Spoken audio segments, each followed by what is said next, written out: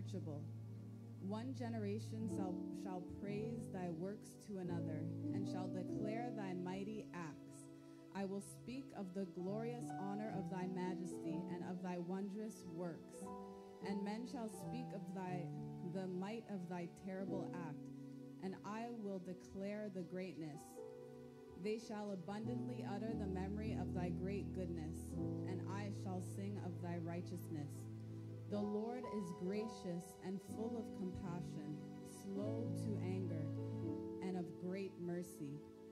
The Lord is good to all, and his tender mercies are all over, are over all his works.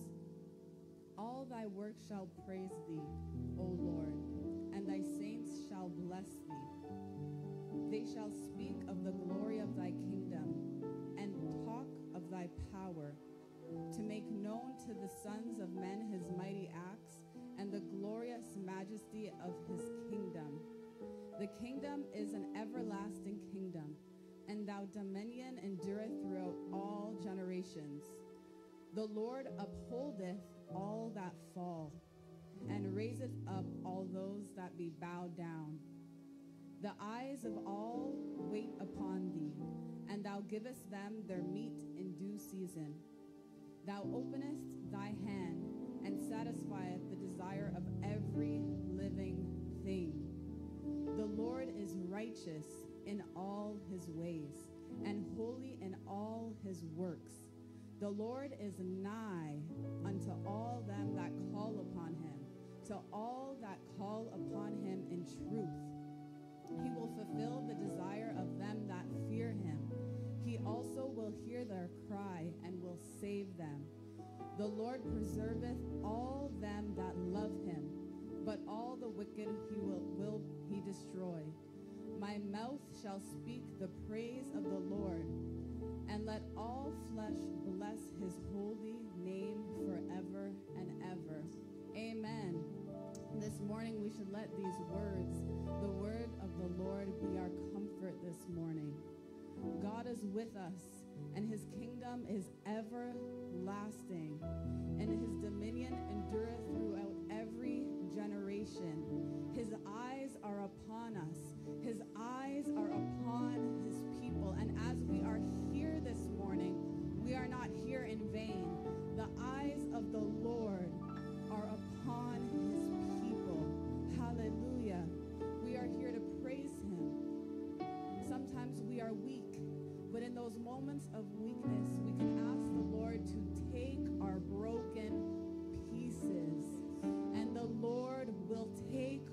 broken pieces.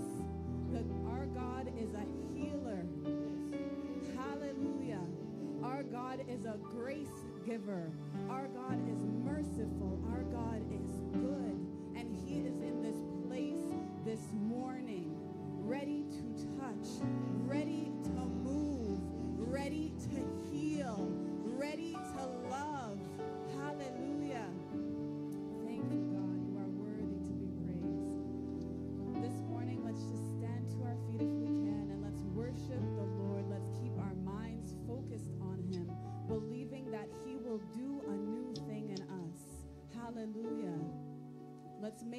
ourselves open and available to the move of the Holy Spirit. Our bodies are simply a vessel, simply a temple to be used by God. If we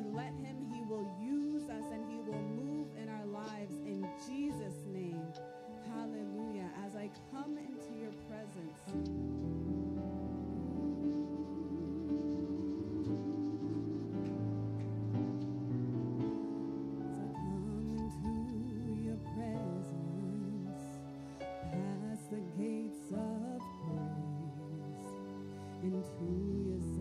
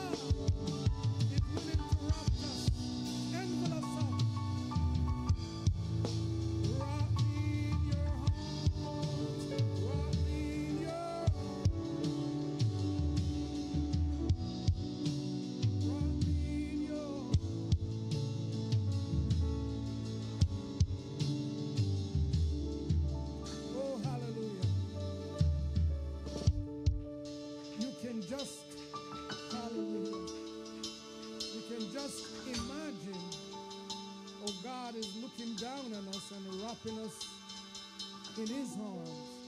You may not see him, but if you give devotion to him and contemplate him, you can really feel him wrapping us in his own tender arms with much love and care. We don't deserve him, but he have mercy. Oh, praise God. He have mercy upon us. What a merciful, fearing, and loving God who knows how to wrap humans in his arms and care for them. You may not see him, but you can feel him if you set your mind on him. Contemplate him. Contemplation here means taking a long look at who God is to us. In our times of needs and downcast and despair, take a long look what God can be to us based on what he has done for others. Amen. Let us pray. Everybody everywhere, just talk to him. Pray to your God. Pray to your God. Rock me in your arms. Make sure that is in your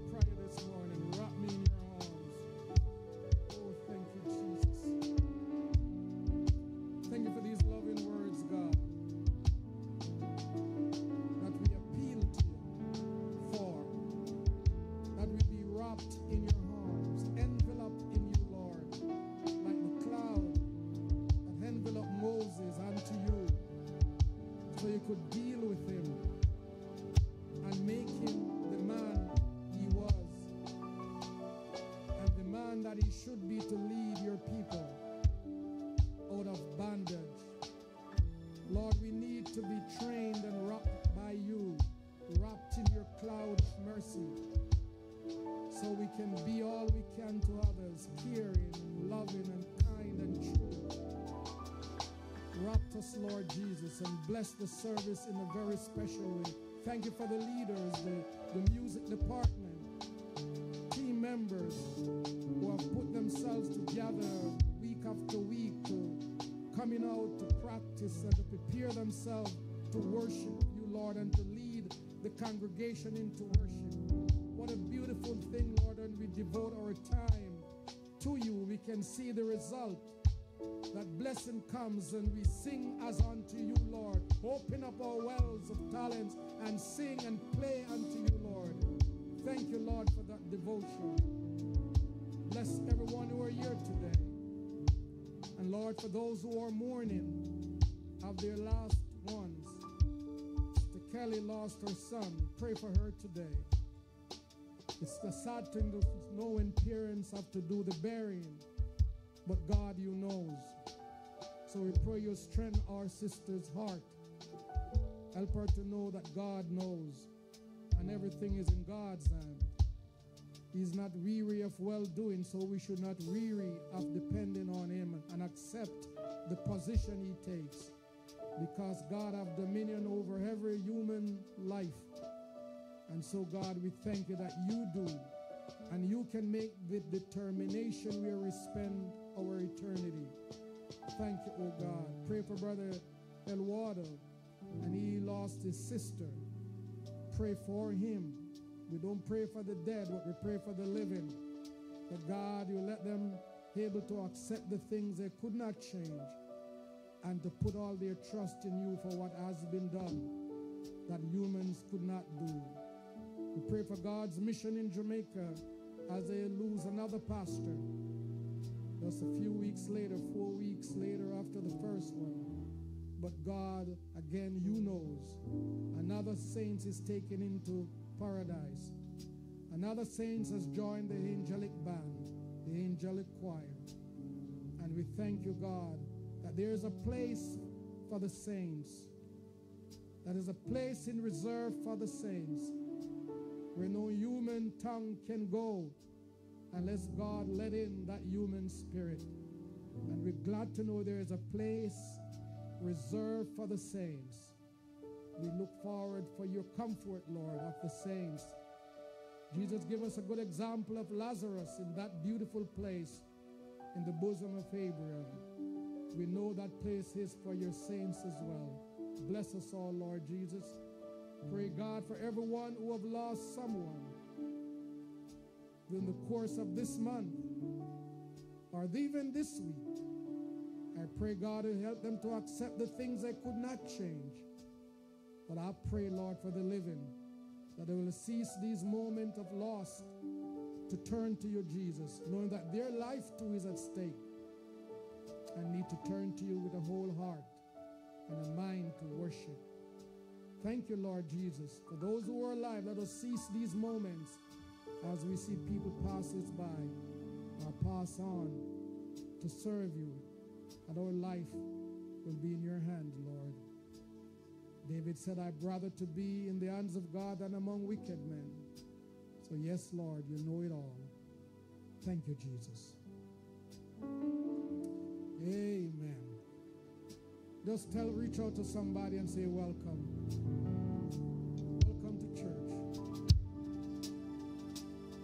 Amen. Welcome to church. Welcome to church. Pray for those who are working. Welcome the others here today.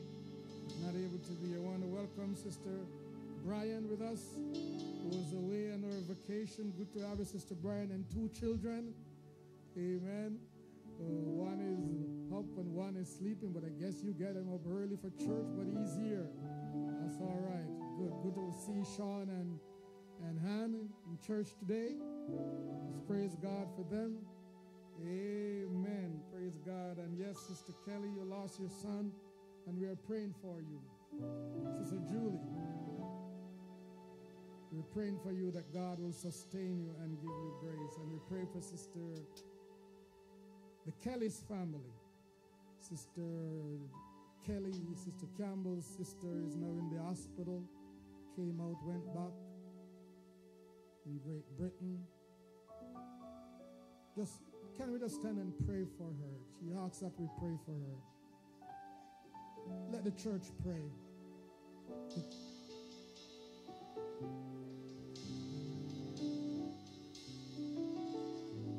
Dear God, we pray for Jennifer Kelly, away in Great Britain, and sometimes she do listening to this service. But God, she's in the hospital right now, fighting against pain and discomfort. Because discomfort in the body, pain in the body, not know what's gonna happen tomorrow to her. But God, you know it all things. We pray for her healing. We pray for her comfort. Lord, I pray that she not be too long into that hospital. But it's your will, Lord. I pray that you'll rise her up and give our hope on our feet to call out to God. I pray this hour in Jesus' name. Amen. Praise God. God bless all of you. I offer condolences to all of you who lost someone. That God would enrich your hearts with love and mercy. We have some dates coming up, Our spring cleaning coming up. We need to refresh the place after every winter. A lot of salt and the shoes move by. They salt, you know, they salt the street here in the city in the winter when the ice come down, so it melts the ice. So just like we have to take time to clean up, or we want to clean up the house of the Lord and do some refreshing and painting if needs be. And outside, we need to clean up as well. And we are praying that they will fix the building outside there. We went through a heavy winter, so we pray that they will get it fixed. And so the house of the Lord will look nice. Amen, church? Where we, gather to worship God, we want it to look nice. So we want to come and make sure at least inside is looking nice and thanking Sister Thomas every week she come in and clean up and refresh the place so we can walk into a nice clean place. God will not dwell in dirty, dirty vessels. well, my grandmother used it in the term that the house must be kept clean. So is my mother. The house must be kept clean. God will not dwell in dirty house. That's what my grandmother said. And I believe her. House must be kept clean and nice so the presence of God can come in. Amen. Keep it clean. All right, especially the kitchen. I'm not saying God is coming for a cup of tea, but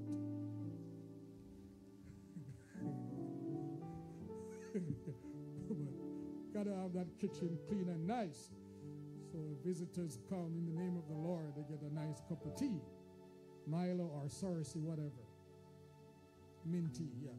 Busy, anything. Praise God. What am I talking like? This wasn't my plan. It just came up. God bless you today. Let me stop. God bless you today. And also we have in uh, Friends Day coming up. I think we pinned down a date for Friends Day, and I hope it will June 16. June 16 is Friends Day. That's when we invite all our friends to church. At least if it's only the one time for the year, invite your friends and family out with you to church. Amen. So we can worship. The whole idea is to worship in with your friends and family at least once a year. And we set that day aside. So June 16, followed by a barbecue. We will feed them with all the jerks that is on the Jamaican menu. Because our cooks are Jamaican, so you know that they're not going to cook weird steak. They're going to have your jerk chicken and jerk this and jerk that. They jerk everything. So jerk hamburger, jerk hot dog, everything they jerk. So when we get some European cook, we can get some weird steak and medium weird, all those weird stuff. So we praise God for that beautiful day that we spend. And we usually try to have the the thing out there for the children. What do you call it again? Bouncing castle for the children. And they bounce all right out of the church. They keep bouncing into the night or into the evening. And we feed everybody. So always be a great day, Friends Day. So we're looking forward for that. So we need to. Yes, all right, good. All right, and May 22nd will be a wedding coming up, brother. The short June. Yeah, June. You don't want to mess up that date. All of you dressed up May 22nd. Where's the groom? Where's the bride? really, they're like, oh, did it put off? No, the date is late. So June 22nd. All right. God bless you. As I said, everybody won't be invited, but pray for them. Amen. God will bless their union. All right. You ready to dive into the Word of God? Yes, let's that's that's my nicest part. Sister Diane, good to have you. Amen. It's the nicest part of church is when we can dive into the Word of God. So we are embarking up on a series of teaching in a very different way. Because I believe it's time for the church to start eat hard bones. I like the hard bone stuff. We're not like little babe drinking milk. Every day we drink milk. It's time we eat some steak now and potatoes, yellow yam. Hard food to make us strong and energetic. Same thing with the Word of God. Go a little deeper than God so loved the world that He go give His only begotten Son, and whosoever believeth Him should not perish. Well, go into that a little deeper because it's it's deeper than what you just read. If you ever take time to go into that one verse, John 3 16, that would take the entire service and next week. To go into that one verse, John 3 16, it's very deep than what you imagine. That Creator God have a son, and he's a spirit, the eternal spirit of a son. How could that be? That is deep stuff. So let's take time to dive in the Word of God and understand the depth of the Word of God and learn. And when you find out why God said what He said, then you're going to be want to serve in God even more. Okay, though not just in the shallow water. You're able to dig deep, a little deeper. So I love that. I, as I said, I love challenging messages. because it's bring a deeper sense to my mind, my heart. So let's go a little deep today. Turn your Bible to Matthew chapter 28. And stand when you find it, please. And let's see how what we're going to what ocean we're going to go into today, whether it is the Pacific or the Caribbean Sea or the Aegean Sea. I don't know if that still exists. People still say, what's the other one? The Atlantic Ocean, Pacific, Indian Ocean, and all of them. So let's see. You can tell me which one you think we're going to be in today, all right? Which one you thought we were in last week? Deep one. they say the deepest part of the sea is like 10 kilometer. It's the deepest part of the, some part out there, Indian Ocean, somewhere there. The deepest part. Stand. And we'll figure out, tell me which one when we finish, we're into today. Matthew chapter 28. We're going to read from verse 18 to 20. Let us read together. And Jesus came and spake unto them, saying, All power is given unto me in heaven and in earth. Go ye therefore and teach all nations, baptizing them in the name of the Father and of the Son and of the Holy Ghost, teaching them to observe all things whatsoever I have commanded you. And look, I am with you always, even unto the end of the world. Go to Acts chapter 2, verse 1 to 4. And when the day of Pentecost was fully come, they were all were with one accord in one place. And suddenly there came a sound from heaven as of a rushing mighty wind, and it filled all the house where they were sitting. And there appeared unto them cloven or different tongues, like as of fire, and it sat upon each of them. And they were filled with the Holy Ghost and began to speak with other tongues as the Spirit gave utterance. Amen. Bow your heads, please. Sister Kelly, can you just pray?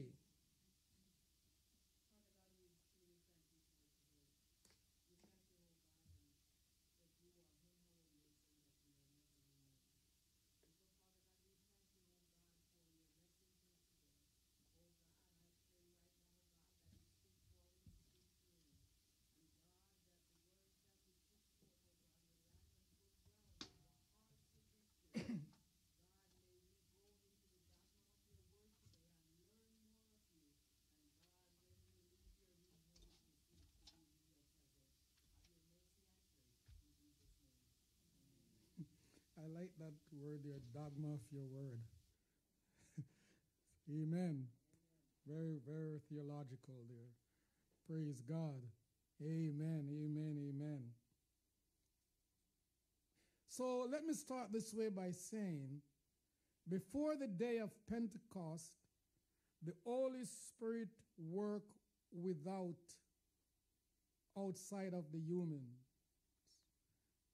like God selected individual at given time and poured his spirit upon them, but these were selected individuals, for example, Moses, Gideon, and David, and so on.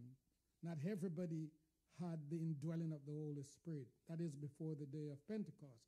But after the day of Pentecost, the Holy Spirit was made available to everybody, as much as who believe in the Lord Jesus Christ could receive the indwelling of the Holy Spirit. So far, so good. Now, Jesus, and we are coming up to, to baptism, so this is good uh, for the people who's going to be baptized to understand the depth of this when Jesus said, baptize in the name of the Father and of the Son of the Holy Ghost. I, may, I know I've spoken about this many, many times, but whatever is written a aforetime is for learning. But today we go a little deeper than it, go into the dogma of this. Amen. So the Father, Son, and the Holy Spirit are the first cause of everything. Tell your neighbor what I just said.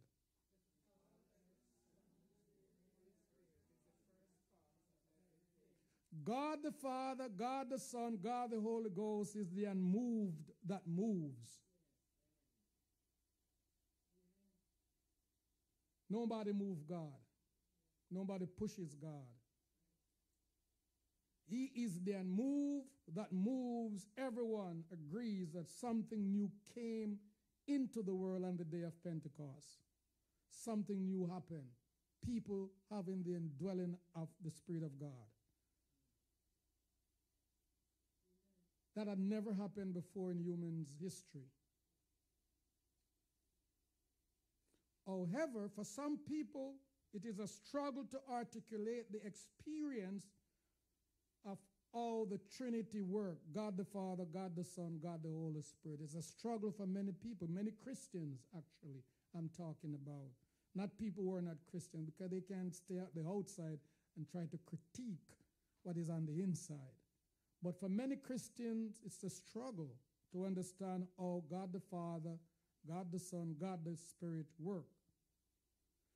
However, God provide what we call theologians and don't be frightened when you hear this word. It's just people who takes time to study the word of God. Study the writings of Moses and the prophets. Study the writings of the apostles of Jesus. They take time to study. So if you're looking for scientists in Christianity, you would be looking at what we call theologians. They take time to study. That's all it means. So far, so good. So these are words as Christian we should not be afraid of. And the word that the sister used in her prayer there. Don't be afraid of those words because it's a very interesting part of the Christian faith. So we have these outstanding theologians from Cappadocia. Cappadocia is in Turkey. And we call him the, the, the Bishop of Caesarea uh, Basil, Bishop of Caesarea, 329 to 79. His younger brother, Gregory, Bishop of Nyssa, and his friend Gregory, Bishop of Nazianzus, 329 to 91. They were called the Cappadocians. They were also trained in Greek philosophy. And don't be afraid of this word when we use it it's not big words or anything to frighten about. Philosophy or philosopher is someone who reasoned. You take time to reason what has been said. In other words, how could that be? And these bishops were philosophers. They take time to reason about the scripture to ensure that they understand what the prophets and Moses wrote and the apostles about the life of Jesus and the things he, he did and the things he said. They were trained in Greek philosophers and were considered as deeply spiritual men. The bishops learned Greek, which includes scientific demonstration. They started out with the term kerygma and dogma. You didn't see my message, right? No, dogma or kerygma was the public teaching of the church based on the scripture. So, what is dogma? Dogma represented the deeper meaning of biblical truth, which could only be apprehended through religious experience and expressed in symbolic and form. So, dogma is your belief or what comes out of your belief. And you may need to express what is in your belief. Amen? So we could express so we could express what in our belief through, for example, we have plates for the Lord's Supper. So when you see these plates, we use them for the Lord's Supper. So we never want to see anybody else use these plates for, for unless it's for the Lord's Supper our offering. So we are expressing this. We have these special plates to receive your offering. So we are expressing how we feel.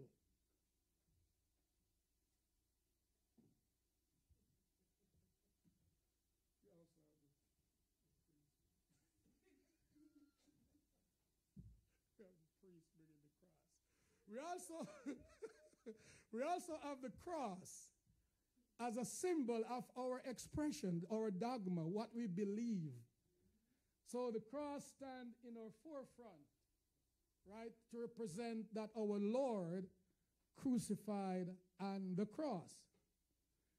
We don't go into, in our church, we don't go into the image of Mary and all that and the images of the prophets and the apostles. We don't go that far because we are afraid we start worship humans. But you can't go wrong with the cross. It's real. Jesus was nailed to the cross. Amen. So that's our dogma. It's how we feel. We want to remind people that our Lord was crucified on the cross. That's how we feel. It's inside. Bible didn't say we should have the cross in the church, but that's how we feel. That our Lord, a symbol of our Lord, must be in the church. And since we're not allowed to have any image of our Lord, then we don't. Because God said that, right? Oh, praise God. Behind the, the liturgical symbol, like the cross, such as we also have public worship, baptism, the Lord's Supper, feet washing, the cross, and Sunday worship. These are our dogma, our belief that represents us as Christians. So you, I think I was talking to uh, one Jewish friend of mine, or the family, particularly Sister Merle, some years ago, and she said, Why Christians always going out and evangelizing people to come into their faith? We don't do that. We just reach out to Jews to be a part of our faith. Or if you converted into be a, a Jew, then yes. But Christians try to get everybody in their faith. was, was very interesting. So that's, that's a part of our dogma. We like others to know about what we believe in. Sunday, you will catch Christians worshiping on Sundays. It's part of their belief. And that is very deep. We did not just come up with that to worship on Sundays. So very we'll go into that a little later. Now, the Cappadocians, when I talk about the Cappadocian, I'm talking about the early church theologians. In some cases, they call them early church fathers. But we don't, we try not to use it because anytime you use the term church father, we think of Catholic fathers. But no, these men were before. They were far before preaching the word of God. Catholic Catholicism come in um, 328 when Constantine used that word when they had the, the big conference in, in, in Nicaea. And they come to some agreement over the, the divine nature of Jesus. And Constantine agreed with the majority and said, This is Catholic. That's how the term comes. This is Catholic. What we have here is Catholic. It will be the word Catholic means universal religion. So Constantine and his those agree with him begin to promote what they believe. So that's how the word came about universal religion. But there were other believers who didn't join. They continue to worship God still. But the church under Constantine were able to spread because he was the empire of Rome, so they have the money. But Christianity was not only in that category. There are other people who are still worship who did not believe in the conference. Because you can't hold a conference and our dogma. Read the scripture and take it for what it is. So far, so good? Bless us, Lord. Now, the idea that not only religious truth can be expressed or defined logically, some others could easily, clearly understand or understood some religious insight as a prolonged response. To understand our religious identity as Christian, we need to have a long look at it. Why am I a Christian? How did this come about? And once you understand why am I a Christian mean followers of Christ. That's where the term come from. So once you take a long look at how I become a Christian and what is all about, you're more better able to accept the message that is preached because you're able to contemplate it. Oh, somebody worship today. We are leading out in the deeper part of the ocean now. It's up to your neck now already. put on your seatbelt. If you can't deal with the diving part, keep the water at the neck and buckle up. Oh Lord, have mercy. Sister Gallimore said, put on your life jacket.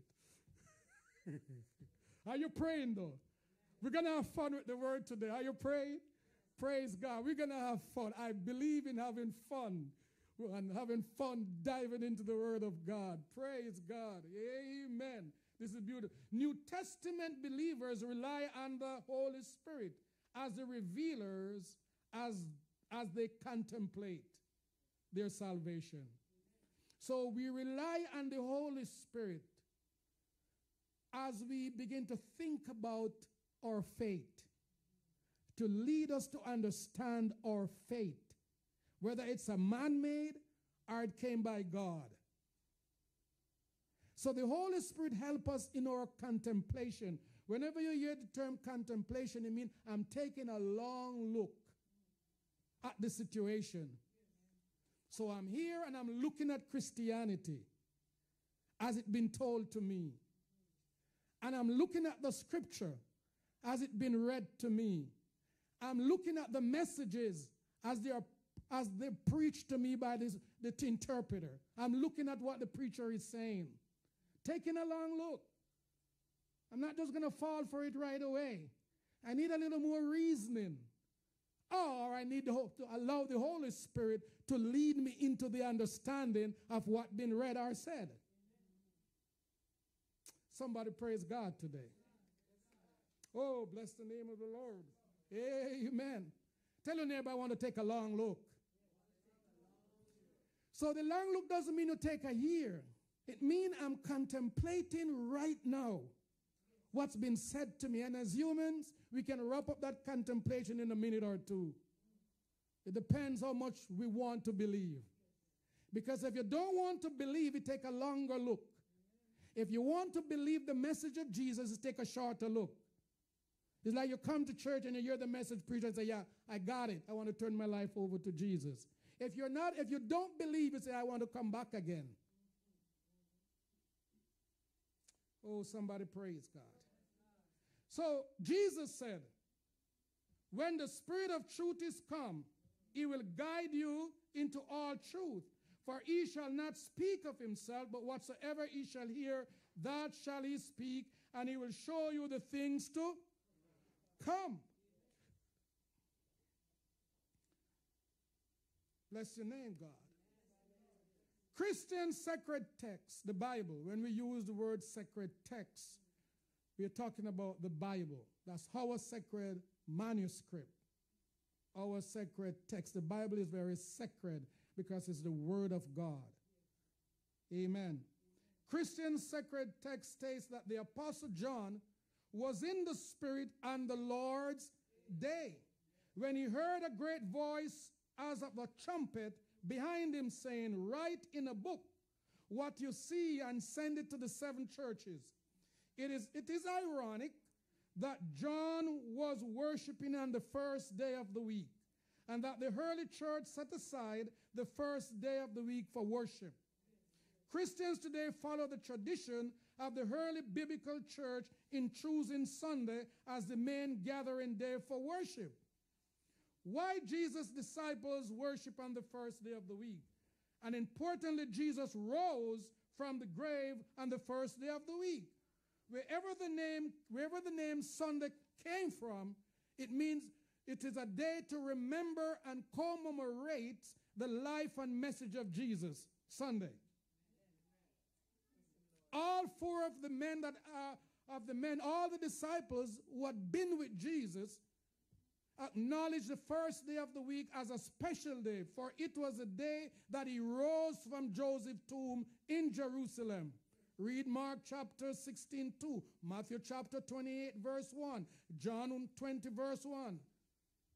All of them recognize, and Revelation 1, verse uh, 10 to 11, all of them recognize Sunday as a day to worship. Now, for those who are few who believe in Saturday worship and can't understand why Christian worship and the first day of the week, let's have a discussion. They are still our brothers. People who worship Saturday and Sundays are brothers and sisters. Amen, church. Because they're worshiping Jesus, they're worshiping God, they believe in God, they believe in Jesus. But so we don't cast people away. Our duty is to bring them in. Why Saturday? As Christian believers who worship on Sundays, we should never be afraid to talk about Saturday worship. Amen? Because if you don't talk about it, when you come into contact with people who worship on Saturdays and begin to convince you that your Sunday worship is wrong, you can't say anything because you don't learn about it. Where did that come from, that, that, that six day stuff, that seven day stuff came from? God. After God created Adam and Eve, he said, Remember the seventh day? To keep it holy.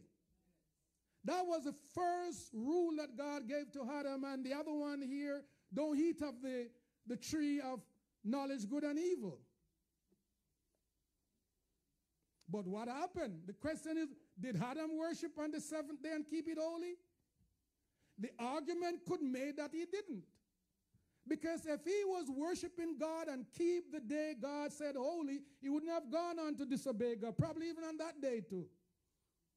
He wouldn't have gone on to eat of the fruit of knowledge, good and evil, so Adam didn't keep it. So far, so good. He didn't keep it. He didn't keep the Sabbath day holy, or the seventh day holy. He disobeyed God. He ate up the tree of disobedience and plunged the entire human race into sin. Because if Adam was keeping the seventh day holy, none of us would be sinners today. And none of us have to choose a day to worship or to come together. It would be dialectic. It would be our nature to just worship in God every day and live holy. We would be just holy people. Somebody worship here today. But he disobeyed God. And then we never hear about uh, worship on the seventh day again for over a thousand years. Never hear anything again. Hundred of years. We never hear anything about the, the seventh day worship until God chose Moses. And don't forget that if for 400 years the Jews were in Egypt and they weren't doing the seventh day worship that God told Adam to do.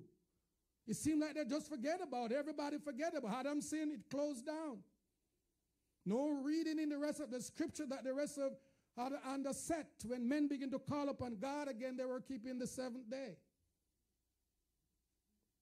However, when Moses went to Egypt and take out the children of Israel, God gave the commandment again to remember the seventh day to keep it holy. And did they keep it holy? Like Adam? If they had kept it holy, they would not have been led into Babylon in 587. They were led away into Babylon because they weren't keeping the seventh day holy. They do their own thing. They reject God, rebellious against God. So they messed up the seventh day again, just like Adam. So something new needed. Oh, Lord, have mercy here today. Again, something new is needed. Oh, blessed be the name of God. Blessed be the name of God. Another new day needed. And that could not come by humans' will. It will have to come by God since we are His people and need to worship Him the way He wants us to worship Him. If there's another day for worship, God would have to institute it. Somebody worship today. So, where the term Sunday comes from? um, earlier Christians choose the day sun day, and people said that the, the more Asian Christians were taught because they used to worship the sun as God. When Christianity came about, they switched to call it instead of the sun god, they say Sunday. So rather than worshiping the sun as God, the day is now unto Jesus. So that's how the Sunday came about. And not only that, their, their, their, their, their dogma connected to Jesus. Because on the first day of the week, Sunday, as it now called, Jesus rose from the grave. So if you want to commemorate the death and resurrection of your Savior, Sunday, the first day of the week, would be the best one. And the, oh, and the Lord's, and they could not only call it Sunday, early Christians did not call the day Sunday, they call it the Lord's Day. So a new day has arrived. Oh, somebody praise God. Oh, somebody worship here today. A new day have arrived, which the, early church and disciples call it the Lord's Day, rather than the Sabbath day, nor are the seventh day. They call it the Lord's Day. And what was the Lord's Day?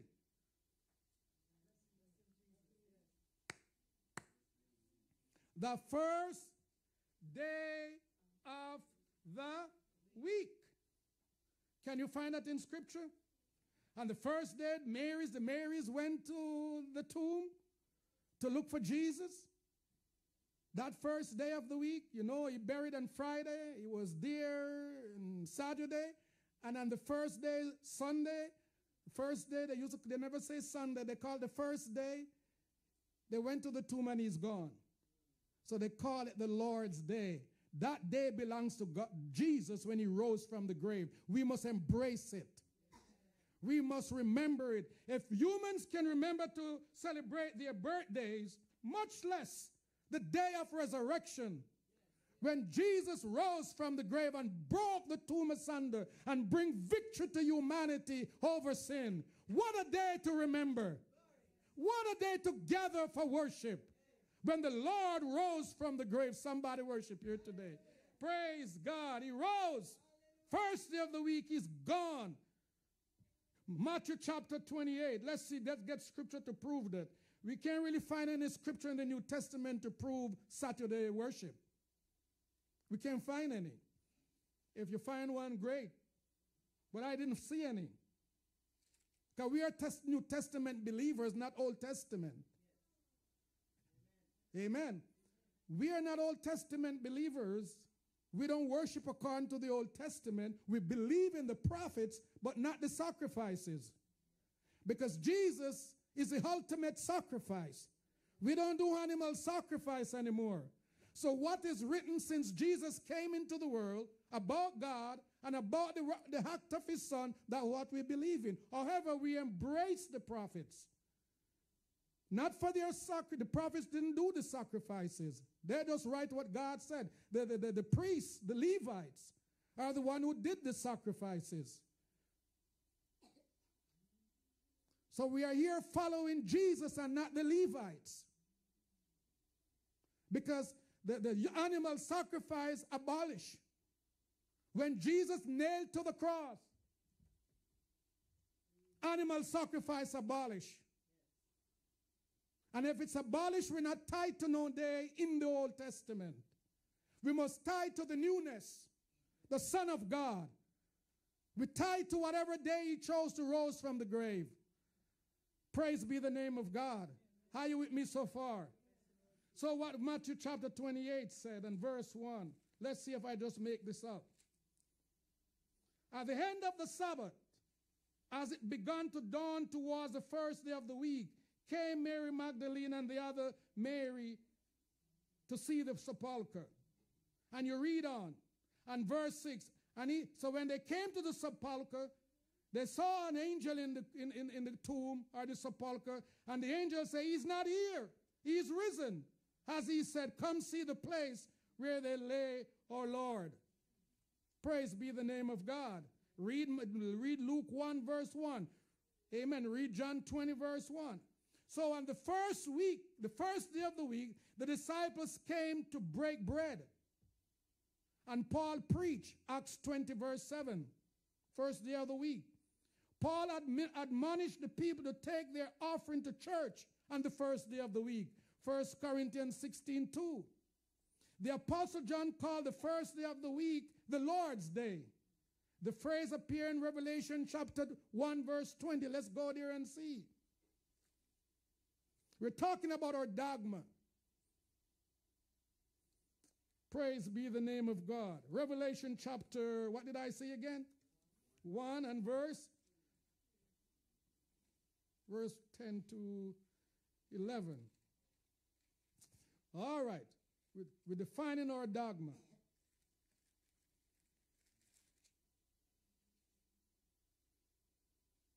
Hi, John. Revelation 1:20. Hi was in the spirit on the Lord's day. What is the Lord's day again? According to tradition, first day of the week. And I heard behind me a great voice as of a trumpet, saying, I am Alpha and Omega, the first and the last. If Jesus is the first, then he has to uphold that. The first day of the week would be quite hard, how okay for him to come back into the world. What you see us write in the book and send it unto the seven churches which are in Asia, and unto Ephesus, and unto Samaria, and unto Pergamos, and unto Thyatira, and unto Sardis, and unto Philadelphia, and unto Laodicea. This is John who was worshiping on the Lord's day. Which day was he worshiping? Was he worshiping on the Sabbath day? Was he worshiping on the sixth day? the first day of the week. Guess where he was? He was thrown to be banished away from humans' contact because he was a Christian.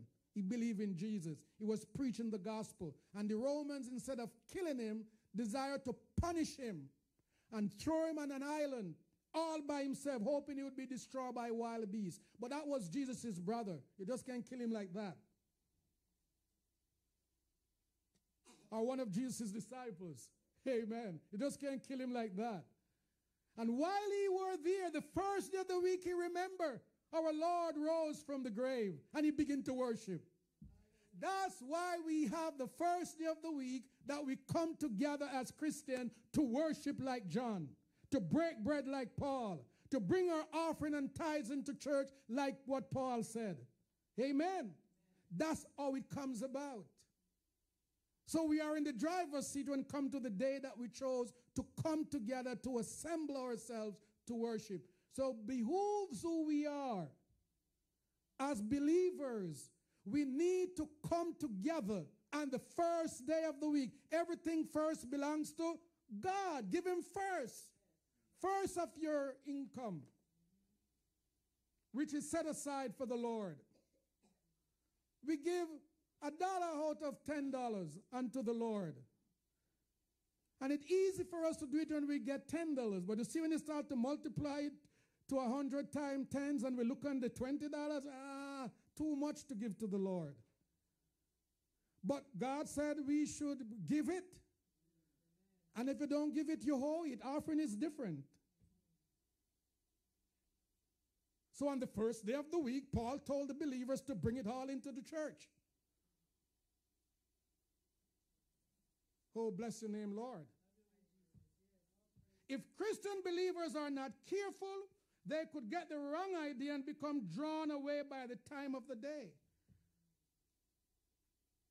which could include all type of spirit form, alcoholism, ancestral spirit, idols and worshiping and worshiping, idol worshiping. So we have to be careful when we choose a day. It is not based on some spiritism. Because if we choose a day to worship God based on spiritism, and notice the word spiritism, not really of God, is something we come up with out of our spirit, our own spirit, and not thinking about God. So if we begin to choose a day that way, the day that has nothing to do with what God would require, then we could be drawn away by the day, even Sunday. If we are doing it out of our own self gratification and not unto God, we could be drawn away. Even Saturday, if we're doing it out of our own self gratification, we could be drawn away by other spirits. But if we choose Sunday to worship, let it be as unto the Lord. If you choose Saturday to worship, let it be unto God and live holy. Keep the day holy. Don't drive to work and mess up the, the, the environment with gas and pollute the air. Stay home and keep it holy. Just like how it used to be done in the olden days. And if the animal is out there crying because it tangled up and dying, don't go out there. And if somebody is laid down sick and you see them through the window, draw the curtain. Keep it holy. But Jesus came and break up everything. He saw the man on the Sabbath day who was sick. And he alone walking by as a human because everybody stay put. It's Sabbath day. But Jesus walked by. Somebody said Jesus walked by. Well, praise God. Jesus walked by the Sabbath day when he shouldn't, based on human spiritism. And said to the sick man, Will you be made whole? And he said, I have nobody to put me in the pool. You know why? It's the Sabbath. Everybody's in the house. That's how it used to worship. Everybody locked down. It's the Sabbath. So everybody left the pool who could possibly assist him to get in. But Jesus, who understand what human condition is, that is, it is an everyday help. He walked by and said, Will you be made whole? And the man began to say, Sabbath, I have nobody to keep me. And Jesus said, Take up your bed and walk. You don't think that man was scared? Because he knew what could happen to him? And they saw him walking in his bed on the Sabbath day.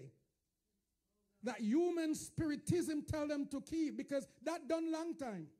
From Adam walk out of the, uh, garden and from the, the, the, the, the, Israelite disobey God and he send them away into Egypt. There's no record of them were keeping the Sabbath day.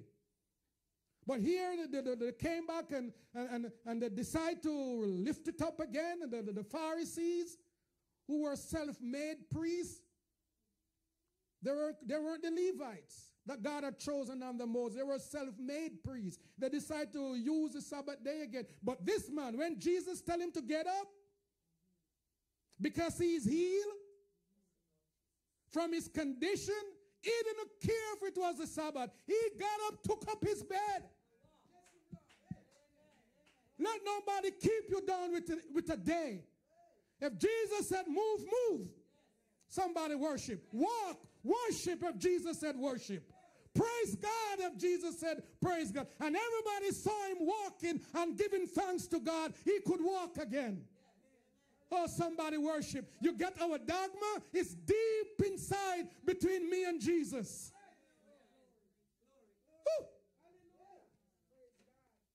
Lift your hands and praise God. You got to understand Christianity if you're going to be a Christian. It's deeper than you really think.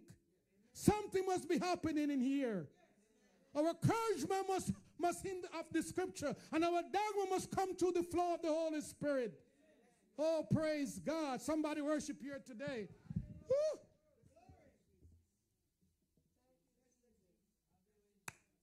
We didn't make up this day. Jesus chose to rose on it, so we worship on it. I don't criticize us.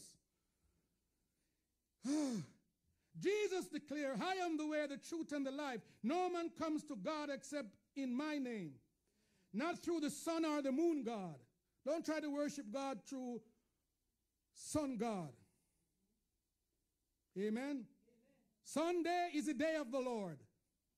There is no exception to the rule. No one goes to the Father except through our God. Nobody go to our God except through Jesus. And I have reason to say that. Though people might say we believe in the same God, when you begin to question their dogma, you realize we are not. Because the, but the, but the way some people say they can go to heaven, it's not in the scripture. And the things they do to get there, it's not in the scripture, so it can't be the same God. Something not right. If you commit wickedness and say because you committed that wickedness you go into heaven, it's not the same God and it's not the same heaven. Are you with me so far? It cannot be the same God. The scripture, spiritual significance, could not articulate non believers. Non believers can't understand the scripture. There is a religion out there that begs certain questions. It's called improper or inappropriate sense. They refer to realities behind the reach of words. They undergo introspective contemplation techniques. You can only refer to realities, they say, that lay beyond, beyond the reach words or the unreached words. In some cases, these religious bodies declare you create realities and words for yourself. You create spirits, beings, or form idols for yourself. And in other cases, you remain silent as a form of your religious experience. So, you, so if you want religious experience, you create it for yourself. Don't believe in the word of God. Move away from God's word. Create it for yourself. And when you create this belief for yourself, the words that you use to create the belief, try to go beyond it and see what you come up with.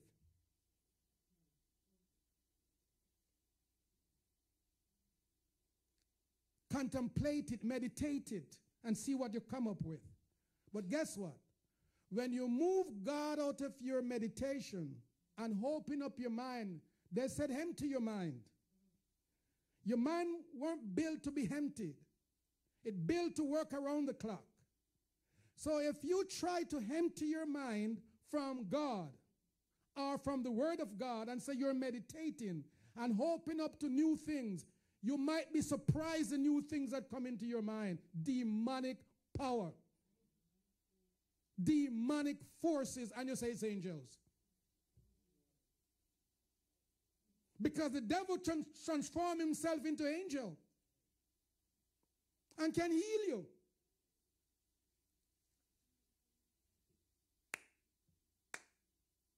You sick? And Satan can transform himself into position. And if you go beyond your oh. Satan can transform himself into positions and forms. And if you go, if you go into your realities of life and beyond the words of your reality, Satan will appear. And if you're sick, you get healing. But it's not of God. So you have to be careful. Satan can allow you to know things. And then you said you are Mr. Foreknown. You are the prophet of God. Satan can allow you to cast out Satan, spirits. Oh, you think I'm just making this up? What happened to Jesus when he cast out the spirit out of the man? How did they attack him? They say it's by Beelzebub. That's another spirit. He was working with Beelzebub. That's what the Pharisees say. You could not cast out the spirit out of this man except by Beelzebub. And Jesus said, Hold on a minute. Does Beelzebub fight against Beelzebub? If you are in the kingdom of Beelzebub, where are you casting out the spirits of Beelzebub? You see what I'm saying? That if you try to go beyond your realities, create your own religion, create your own realities, and keep going beyond the words of your reality, Satan will appear. Beelzebub will appear and can heal you and exercise spirit out of you. Same Beelzebub, but the spirit lurks around still.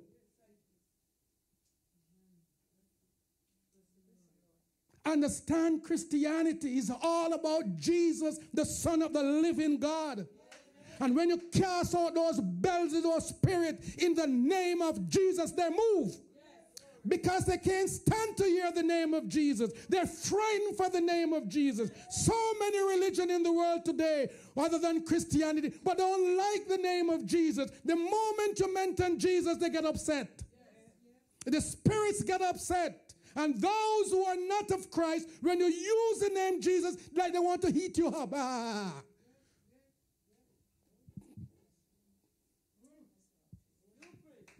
Are you praying for me today? Are you praying for me today? Praise be the name of God. So understand not because you go to the man and he tell you everything. He's of God because the spirit of Beelzebub ex- exists. So when Jesus was casting out the spirits out of people, they thought he was working with Beelzebub. But in the name of Jesus Christ of Nazareth, no Beelzebub spirit can harm the Christian because the Son, the blood of the living Son is upon you. His protection is all around you. The power of the Holy Ghost is around you. And nobody can harm you when you handle the anointing. He turned back on them. You don't know what I'm talking about, do you? You don't hear this type of preaching. You can sit there with your Beelzebub and not going anywhere when it comes to Christian because we have the Holy Ghost. We have the Holy Ghost. Tell somebody, say, You have the Holy Ghost.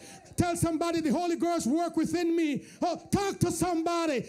Shake somebody hand. Give some high five. You are too, oh Lord of mercy. Oh Lord of mercy. Move around in this place uh, and tell somebody, I got the Holy Ghost. I don't know why you're sitting there looking at me. Hallelujah. Hallelujah. Move around in this place. Walk out Beelzebub and declare in the name of Jesus that you got the Holy Ghost. Oh, hallelujah. No demons of hell. Come on, people, move around in this place. You little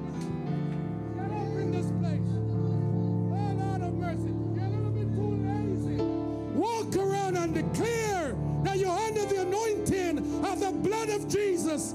Oh, glory to God. No Beelzebub from hell can stop your business, stop your progress, block your children's progress because you pray them up under the anointing, under the anointing, under the anointing, under,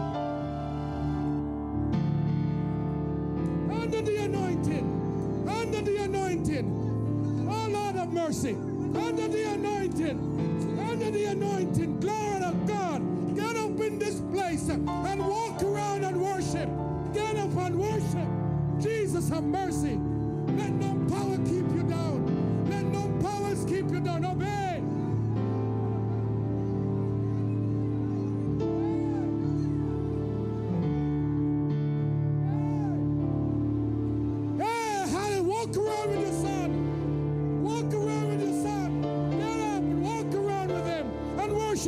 This place.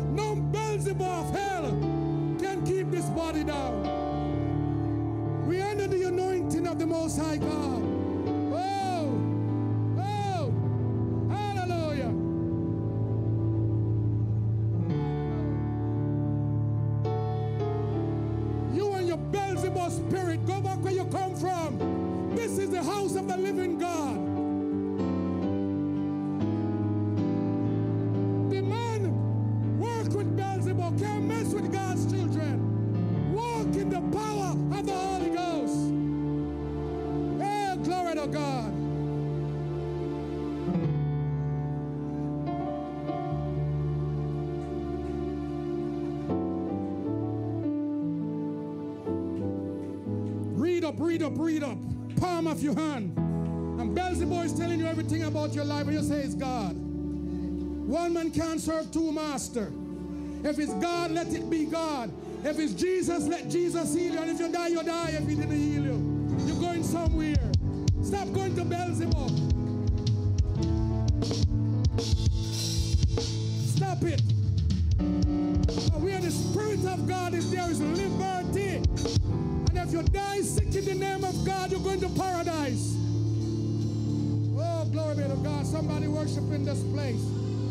Somebody worship in this place. Somebody worship in this place. Hallelujah. Jesus said, I'm not working with Beelzebub. Beelzebub don't cast out Beelzebub. I'm the son of the living God. Woo.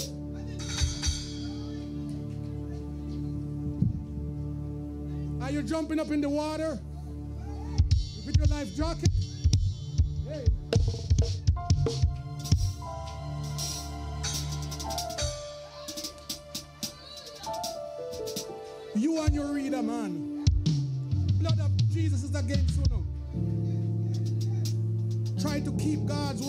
down. Keep God people down.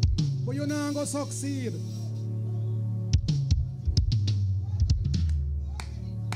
Don't trouble God's people.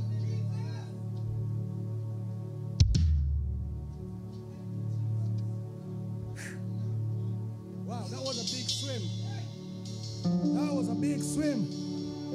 Don't trouble Zion. All this song go again. Don't trouble Zion.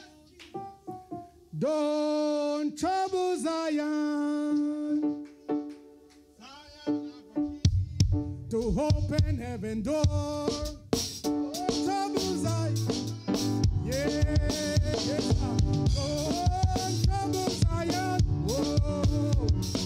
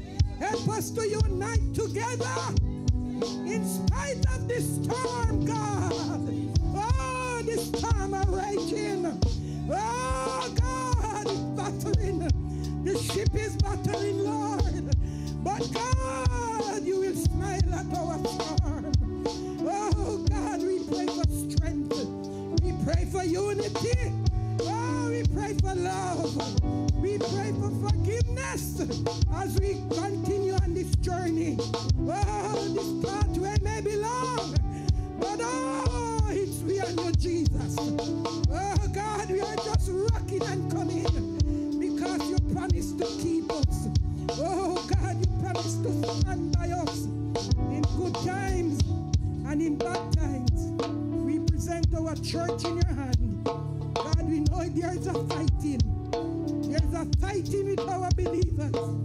God, when they come to church, they say this, what they start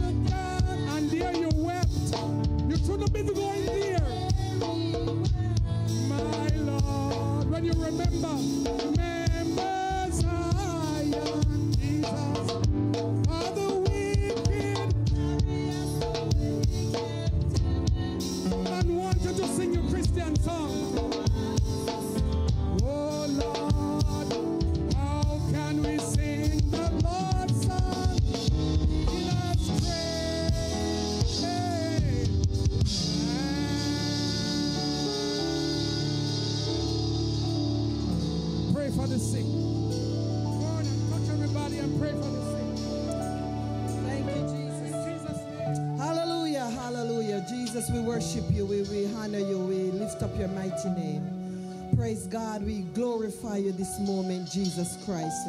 We thank you that your presence is here with us, Lord God. Praise God. Your presence is with us, Jesus. And at this time, God, I pray for those who are sick. Oh, Jesus, you know them by name and nature. Oh, Lord God, we thank you that you see and you know and you understand everything.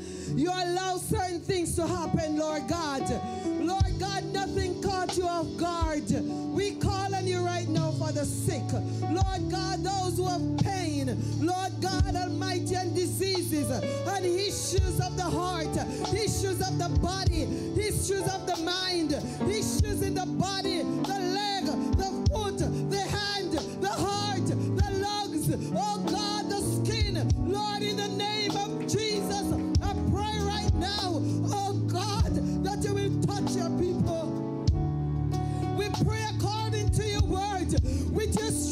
we are healed. We pray according to your word.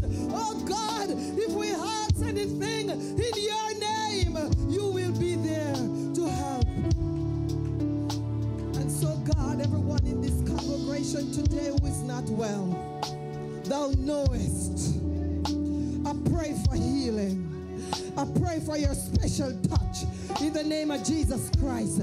Those who are watching and hearing us and you are sick in bed, wherever you might be, in your car watching us, at home watching us, at work watching us, wherever you might be, and your break watching us, in the name of Jesus, be well. Jesus. God, I pray, oh God, for, for Jen, Lord God, in the UK right now. Jesus, you see her, you know her, you understand her heart, you understand her mind, you know about her body, you created her, you made her. God, she's calling, we are calling, be her, be healed, my sister.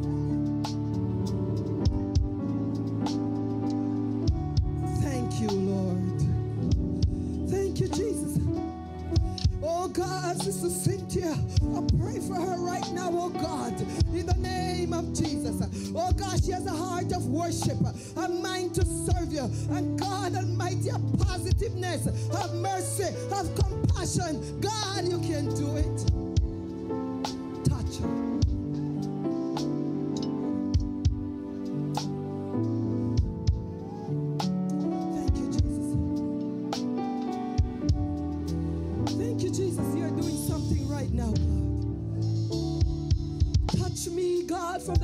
My head to the sole of my feet.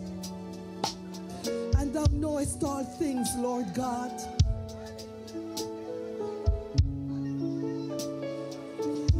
Yes, Lord.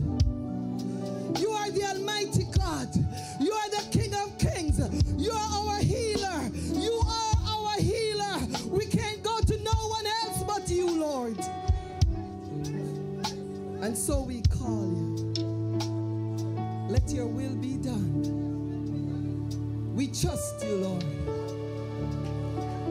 In Jesus' name. In the name of Jesus.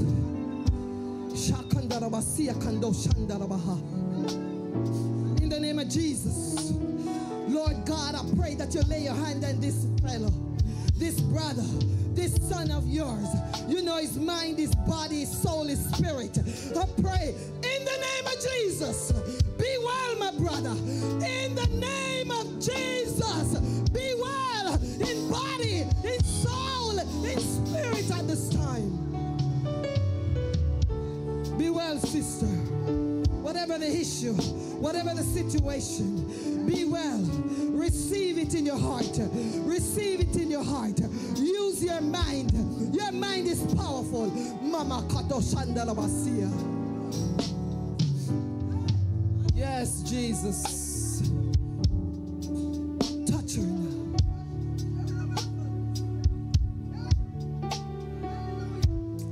Mama Mama Sia Kando Shandalabaha. Touch her, Jesus. I'm talking to you, my Father. And I believe you're hearing me. I know you're hearing me. And I also know, God, that you're looking. Your eyes are watchful right now. Jesus, and you're all over.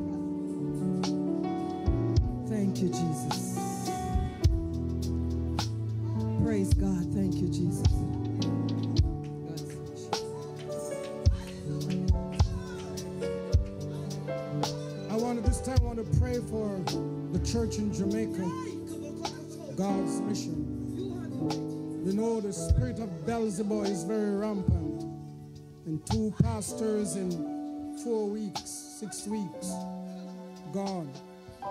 Dear God, you plant that church in that area for a purpose. And it's by your reasoning, Lord, that ch- that church is there. I pray you'll protect the church. Let your divine glory rest upon it. Your cloud, like on the day of the tabernacle, when the cloud, the glory of God, covered the tabernacle. And as long as the glory of God was there, the people could not relieve, leave the camping site. Dear God, I pray for your glory to be over that church, God's mission. The people, the now acting pastors, the workers, you know them by name and nature. Cause your divine glory to shine in the name of Jesus, like you're doing for this church. Let your cloud rest upon this church and let the people come for camping. For when they come for camping, your presence remain over the tabernacle. Your presence remain over the people. Let no forces remove them from coming out for camping. And Sunday, the first day of the week, that Jesus have set aside, that his disciples and the church to follow will worship. It is your day, Lord, the day, the Lord's day. John was in the spirit on the Lord's day, the first day of the week, when he hear a voice from heaven saying, Come up a little higher, is when we come together on the Lord's day, Lord. We will hear some of that calling to come up a little higher. I pray for this church. You'll break the fetters that have people bound in their bed and first day of the week when they should be in worship. We come against that, Lord, in the name of Jesus. You hear the cry coming from every angle. I want to come, but I can't come. Something is holding me down. I break it in the name of Jesus. I cast it asunder in the name of Jesus. And the people shall release into fellowship and into worship. And the people said, in Jesus' name. The people say, the people say, in Jesus' name. I want to leave this with you. Hold the music a little bit. I was watching a case, and this woman went to the witch to get something done. And it was not done, and she take the witch to court. And the judge said to the plaintiff, you can't move out of the normal system of life to get help. And when you don't get it, you come back into the normal system to fix it. Case dismissed. One man can't serve two masters. If you are served Jesus, ask him what happened to you. Go in fasting and prayer. And he will reveal it to you and stop. Go to Beelzebub. Because Beelzebub will mess you up and he own your paycheck. 20% every week instead of 10. And when you don't give Beelzebub for him portion, all sorts of something happen. Stop it. And turn to Jesus. This was not my message. If you hear how I start out, it was not my message. But when I give my dogma, when I give my dogma to Jesus, then, the, then I just put the message away. We will part one. Part two will continue. The Holy Spirit led me away into deep ocean to preach the way I was preaching. That's not in my text. You can take it and look through it.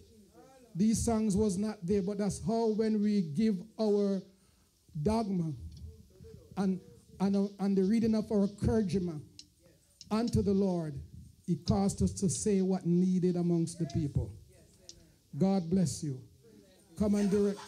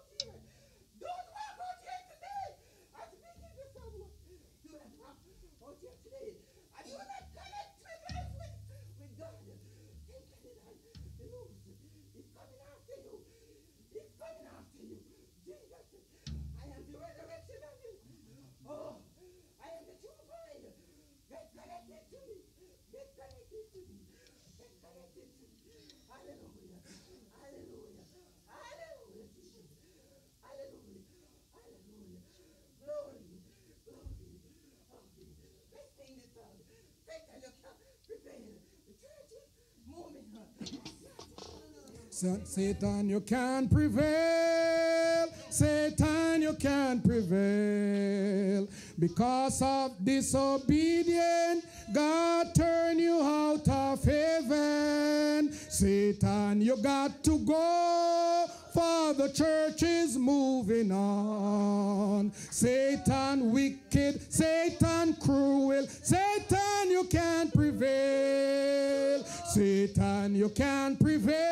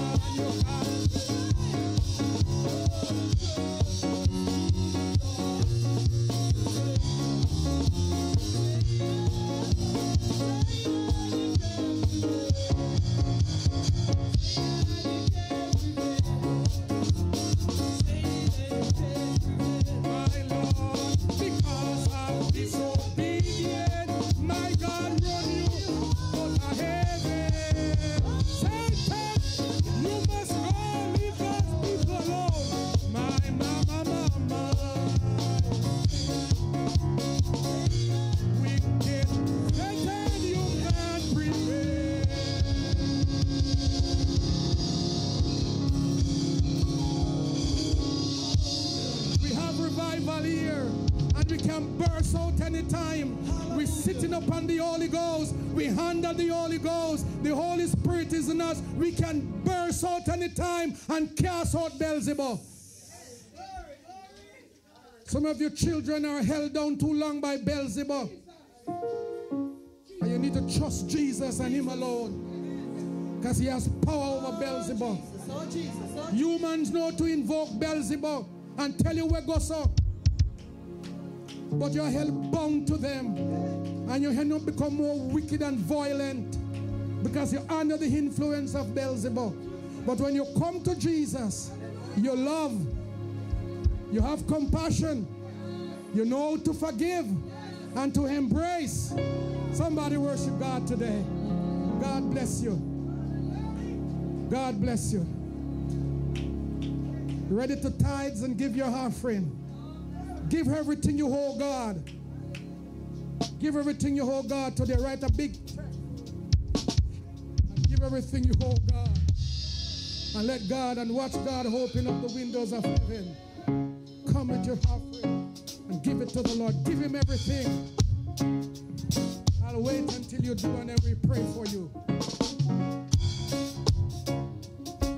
Dear God, as the saints come with their gift to the altar, pray they'll give honestly to what you have given them back. giving them, Lord, that you give back your portion into your house to bless the work. Provide for us a building. Oh God, I pray. Bless the saints as they come. In Jesus' name. Sometimes we give and manage how much the bills are paying, but give as God blesses you. Stop manage God's finances. Amen, church. Open up your bowels and give to the Lord as God blesses you. Amen. He lift you up and put you up. Give unto the Lord. One sacrifice you can give, and this is one of them. Come and give unto the Lord. Praise God.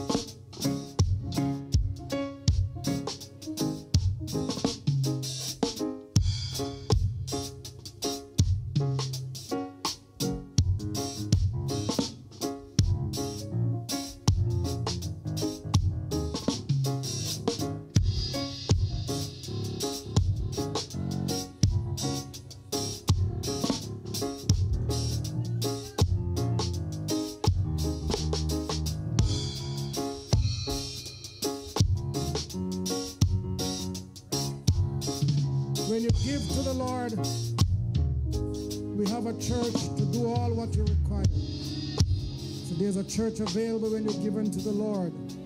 Building is prepared, the pastor is prepared, and the saints are prepared to pray out because there is a body of people meet.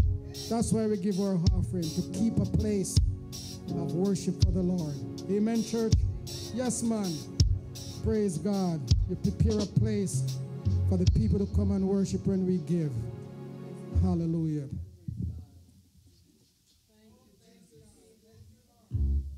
Father God, we thank you this hour. Thank you for health and strength that you have given to us, the mind to give. And as Lord, we bring our tithe and offering into the church. God, you see it and you know it, and you also know the heart. Lord God, for those who have given online, you see it, Lord, and you know about it. So, God, I pray for your blessing, that you will continually bless your people, and that your, your, the, the, the, the, the tithe and offering can go directly to your work. In Jesus' name, I pray. Amen. Well, with all what was said, we actually over before time, five minutes ahead of time. Isn't that amazing? Oh no, you can jump out of the water now. Just jump out. Take off your seat belt. Did you, if you were listening to our sister speaking in tongues, I was able to interpret one word. Adonai. That means the Lord God. Isn't that amazing? God was in this place. And this is somebody who weren't able to talk properly. But were you listening today? That's I want the church. That's why we're supposed to remain silent. When somebody's speaking in tongues, there everybody's don't speak in tongues. Just remain silent and let the interpretation come. But Adonai, the Lord God, and whatever she said, that's what God is asking and saying to us today. God bless you. Stand with me, please. Devil tried to take her voice, but when the Holy Ghost started, did you hear she talking? Oh my God. Somebody, you, you don't even realize what happened here today. Did you realize what happened today? Satan tried to take away our voice, can't talk, but when the anointing of the Holy Ghost came today, I was here just in awe. Praise God. Good things happen in church when we give our dogma and encouragement unto the Lord, the Spirit of the Lord. Praise God from. Praise Him, all creatures. Praise Him, all creatures here below. Praise Him above. Praise Him above the heavenly host. Praise Father, Son, and Holy Ghost. Amen. Now may the saving grace of our Lord and Savior Jesus Christ, the love of God the Father, the full fellowship of the Holy Spirit, the Comforter, rest, remain, and abide us all until Jesus come. The saints say, come for part two next week. God bless you. Greet each other.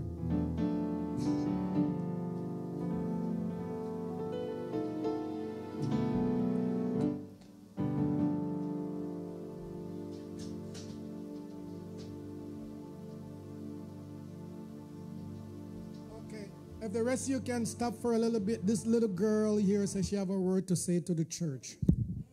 So just wait a little bit and hear what she have to say. Just stop the greeting for a little bit. Stop the greeting a little bit, and she says she has something to say.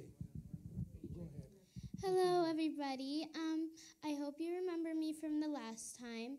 My name is Mirabelle, and I wanted to tell the church something that my mother would make me listen as a child, and she still makes me listen to it, and a quote that my grandma gave me. So, the quote that my grandma gave me is if you ever think about giving up in something, think about why you started first. Because you can't just quit something for no reason. You need to know why you want to quit and why you started. It's like a hobby. So you start the hobby and you just don't want to do it anymore. Like my piano lessons. I had a reason why I wanted to stop it. It was too stressing and it made me very tired, and I had too much homework, so I couldn't practice anymore. And a word that my mom gave me was so the word was in Creole, but I can translate it in English as well. So the word was Mwen ben- mwen beni an deyo, mwen beni len nan villa, n'importe saison mwen map beni. Se bon Dieu, fem kon sa, map beni. So basically, translated in English, it's I'm blessed outside of the village. I'm blessed inside of the village. Which season, whatever season I'm in, I'm still blessed. That's how God created me. I'm still blessed. I hope you guys have a wonderful day and afternoon. May God bless you and may you live in peace with the, with God and Jesus. In the name of the Lord, I hope that everybody that's sick here will be healed. We need we need healthy people. We need healthy people, good people and holy people to make this world have peace. If not, this world will fall apart, and we do not want that. We want a nice and comfortable world which we can live in. We can't just live in war.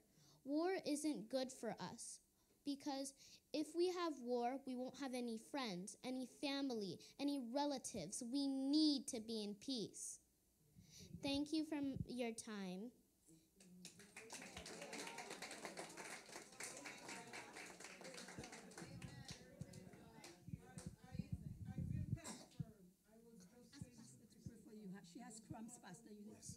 I pray for you today. Hallelujah. That the pain you're feeling in your body, the cramps, that God will heal you. God wants you to be well. Because when you're well, you can speak the prophetic message of God. God has blessed you and want you to speak to people of the condition of life. Tell them that war is not good. When there is war, we cannot have peace and we cannot have friends. God would bring this out in you at a young age. I pray you be healed. Your feet will be healed. The cramps would go away. Can you just bring the anointed oil? Let me anoint her. Praise God that your pain will go away and you will live for the Lord and serve Him. Well, this is what happened when the Holy Ghost is in the place. When the Holy Ghost is in the place, God bring out messages. Anoint her, sisters. Her pain is in your knee, some the cramps sometime over you. Just anoint her. Praise God. Yes, a little child shall lead. Stand in reverence before God as we carry out this. Anoint her. Come. Praise God.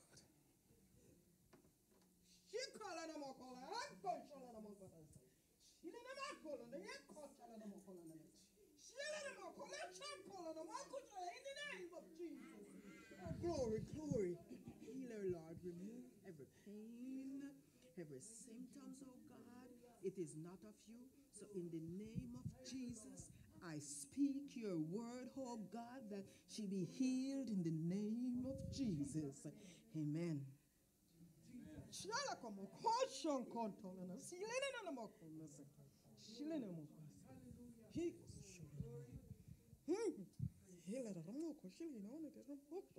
como koshon kontolana. Silene na mo kolose. Silene mo kolose. He. Hele da mo ko shili no ne da mo ko. Name of the Father and of the Son and of the Holy Ghost. I anoint you. Bless the Lord. Hallelujah. Thank you, Jesus. Glory, glory. Thank you, Jesus. God is bringing us his blessing from every handle. Receive God's blessing in Jesus. I won't go over our message, it's our message. God bless you. Thank you so much. Amen.